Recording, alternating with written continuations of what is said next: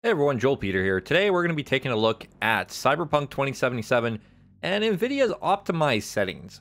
Uh, so NVIDIA likes to optimize games uh, in GeForce Experience. So we're going to go ahead and see what it recommends. So first off, we'll go ahead and get RivaTuner booted up, but we'll go ahead and just hit optimize and see what it does. We'll hit play. So we have it running from GeForce Experience. You can see um, we are currently running it through OBS, so I mean keep that in mind. Performance is dropping, but oh my, it actually doesn't look that bad. And realistically, this is playable.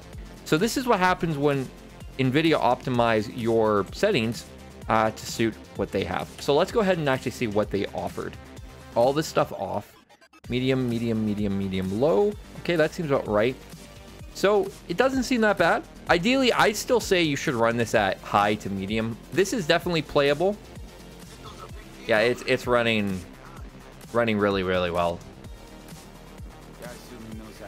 it definitely feels more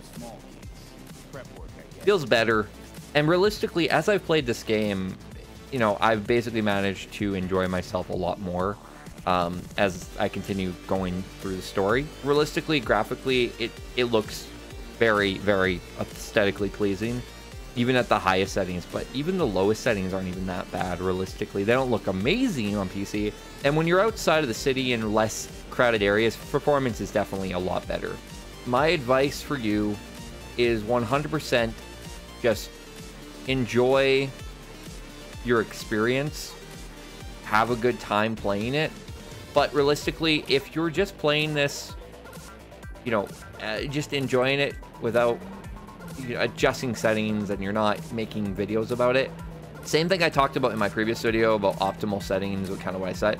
Um, maybe try GeForce Experience and see if you get a little bit better frame rate. It's gonna lower things, but it makes it more of a fun, playable experience. And so that's that's my advice. Again, same thing I said before.